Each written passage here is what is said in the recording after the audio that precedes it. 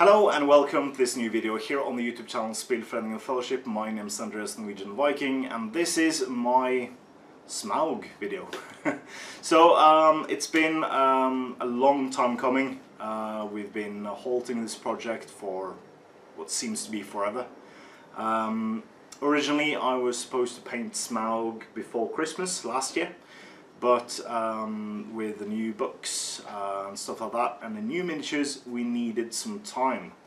Uh, so we've have uh, we have filmed uh, for the grand campaign um, like other scenarios stuff that happened during and after the the, um, the events of the Hobbit uh, and uh, to give us more time to bring in the new miniatures from Forge World like Bard's Children and uh, Braga and all the models we needed for the different scenarios. So when time came for me to paint Smaug, I scheduled him to be painted in like June, July, and we're at the currently in the 3rd of July, is that correct? Yeah. So um, the time came for me to paint Smaug, and uh, I was then approached by a lovely chap um, who asked me what I wanted to paint his Smaug as well. So what is better than painting Smaug? Wrong side. There we go. I'm painting two Smaug. so um, during next uh, next couple of uh, couple of weeks, uh, I have my deadline until Ardacon. So I will be bringing Smaug to Ardacon. Um, so I have my deadline fixed. Um, I am in my studio, uh, or in our studio, that is and I will be assembling, I will be painting and I will be completing two Smaugs in one month. Beat that. Uh, and uh, I will I will film the entire process and um, try to do something cool and new with that, maybe like a time-lapse video. So uh, this is my journey with Smaug. Please enjoy. Alright, so here you can see the uh, start of the assembly. Uh, as always, I didn't want to bother you with uh, 22 plus hours or 40 hours of uh, plain camera of me working on the Smaug and uh, painting. So I have uh, time lapsed it, so there's uh, about one frame every minute. And, uh, and yeah, so this is basically cleanup of the model. You can see part of both Smaugs um, in the in the screen here. Uh, and sorry about the iPad. I had a timer on there and it keeps turning off and on again. Um, didn't. I forgot to um, take out the uh, the screen uh, off function. Um, so it turns on and off again uh, at some points. So jumping a bit here, um, it's been about five hours now and I've uh, cleaned most of the miniature now. Uh, what you can't see is there's a bucket down on the left-hand uh, side of the screen with soapy water. So I'm just submerging all the bits when I've finished cleaning them with um, files and hobby knives. Just dump them into there, and then I yeah there you can see the bucket. so uh, everything is uh, is then uh, put into place. So this is now all the parts for one Smaug.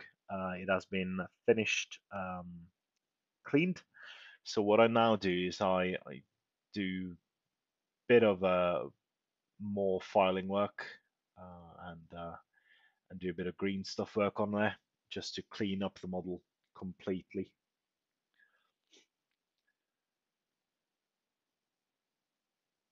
So I, I particularly enjoyed uh, building Smaug. Smaug was was an absolute pleasure to build. There was really not that much cleanup on there um, that we were expecting um, from this part model might be because it's it's basically a, a 3D render model and it's also uh, a Forge World resin, so it doesn't have all the problems that Finecast has. So uh, here you can see we are about 11 hours into project now, uh, and we have um, we have um, most of the cleanup work is soon to be completed. It's a bit of work left to do on, on some of the parts uh, and basically assembling them all together uh, and then green stuffing and filling the gaps uh, is the, the remaining part. So you can see here that I've assembled the, the head um, to the body and I will continue to assemble and uh, reassemble the parts until everything is complete. So seems like I left the table here for a while. Thought I'd cut out most of that. Oh, there I'm back again. Right, so you can see the the Smaug um, Smaugs are starting to to be, be built. Um, I did leave the uh, the uh, wings off uh, because I want to paint the project uh, properly so that everything is is in its place. So there you have Smaug and his wings and his base. So here we are starting the priming. So I got my uh, airbrush out and uh, we are priming the model uh, with an airbrush. So this is just to get a tint of red underneath so I don't have to um, get all the uh, all the bits out to um, to then yeah basically to to give a red sheen throughout the entire model um, and then I'm now highlighting uh, starting with a face seems like the video has jumped a bit I'll have some lost footage somewhere but but yeah so uh, so yeah basically going through and uh, just gently spraying highlights everywhere to give uh, to give Smaug what uh, what he needs to to get. Uh, the rest of the model does the same. The rest of it, um, it's such a big model that Shadow actually lines um, lines it pretty well. Seems to be some uh, some clearing up bit. Yeah, there we go. Back in painting. So highlighting the uh, the wings the wings up, uh, just again to give it a red sheen throughout the project. Uh, the wings will get brown at some point.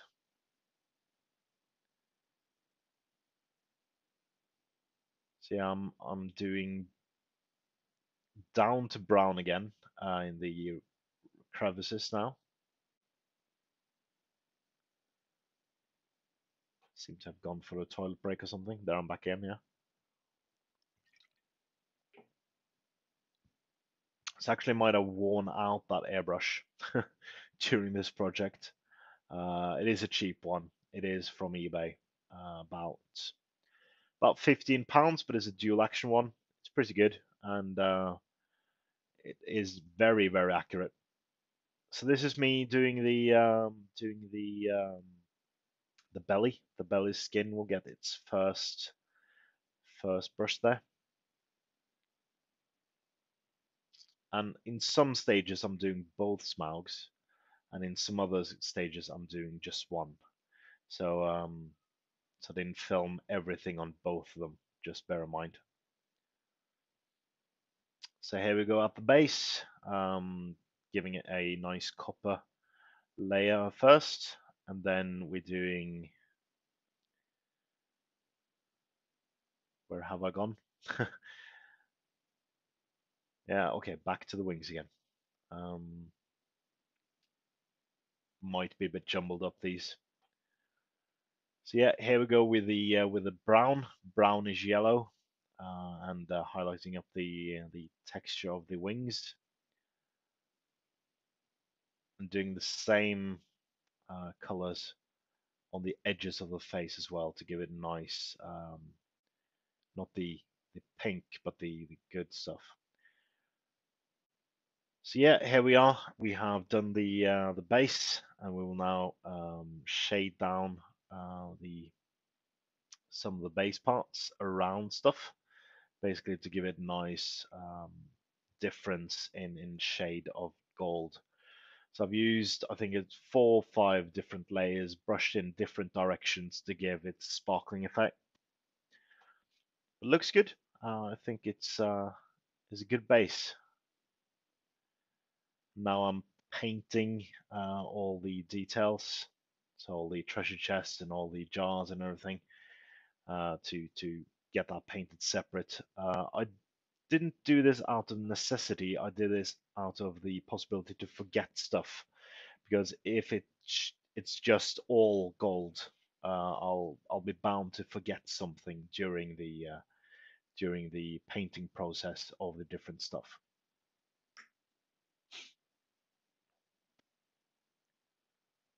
It's nice to paint this quality of a base though. Uh, it is a really, really good looking base. Right, so we have come to the actual painting of the model. This is me shading the belly. So I'm um, using Agrax uh, to give it a nice shade.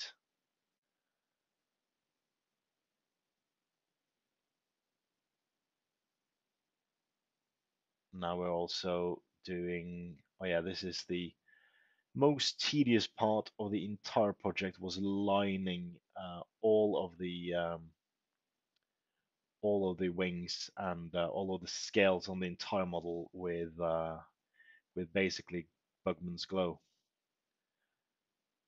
Real pain to do, but I think that took the better part of 10 hours on both Smaugs to do. So you can see me doing it here, I think. This is either the shades or the or the highlighting. Nah, this is me highlighting, definitely. so that nearly took the life out of me uh, to do on both models. Really, really painful. But then again, it has to be done. Uh, looks so much better. But then again, I shaded it down again so it doesn't look that striking. But I'm really, really happy with the result though. Um, couldn't be more pleased. And you'll see that in, in a couple of minutes, the finished Smaug, well, uh, I say finished, still have to be blended a bit with the wings, but I didn't want to, um, didn't want to, um, I did have some other project to be ready for Ardacon with. So uh, I wanted to uh, to give that um, to get this done basically.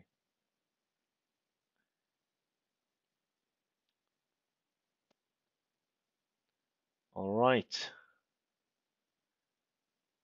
So coming in at 23 and a half hours now, I think. So a lot of time has gone now between um, between what you saw now and what is finished because I've, I've done numerous amounts of hours of work on Smaug that you didn't see on camera. But now I'm finishing the base uh, with loads of different uh, different metals, golds, browns on there as well for the um, for the base, for the treasure chest and stuff like that. And there we go. So this is the finished Smaug. You can can see a bit of a crack at the wing there and uh, that will be uh, will be rectified with a bit of green stuff and um, airbrush uh, to to blend it to the uh, to the rest of it. But I am absolutely stunned by by the work that's gone into this. Uh, I think the timer finish time was at 44 hours recorded time. There is more hours that has been done on the project but but yeah, it's it's the biggest model I've ever painted, I believe, um, for for myself, uh, and I did two at the same time. So that's uh, that's it. I I think it looks beautiful. Um, not to toot my own horn, but the model itself is beautiful, and laser paint just makes it a bit better. I'm trying to pan now to give you a look of the, uh, the armor and blending effect, the, the scales on it, and the blend on the wings. Fairly happy. I didn't didn't want to go for that swirly pattern on the wings, so you'll not see that on mine. You can also see the blended scales there. All the different blends on the scales with loads of washes and highlights, and also the the uh, the whites of the scales on the his belly and the finished base as well. Base looks infinitely better in person. It has all these different uh, different layers of gold. And also the red shield looks a bit better off camera. I'm fairly happy with the marble effect as well, to be honest. So yeah, this has been my uh, project. Thank you so much for watching and uh, for the four weeks that's gone into this. Um, as always, guys, do check out the Patreon in the link below to support us in our work here at STF HQ. And uh, as always, guys, I've been Andreas Norwegian Viking. Uh, please comment, like, share, and subscribe and support your hobby.